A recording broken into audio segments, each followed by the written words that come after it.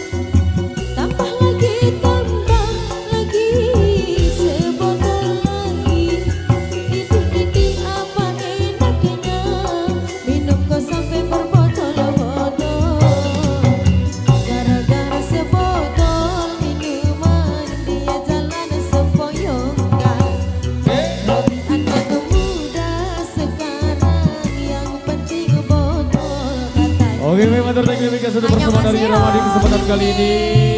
Baik. Dan kali ini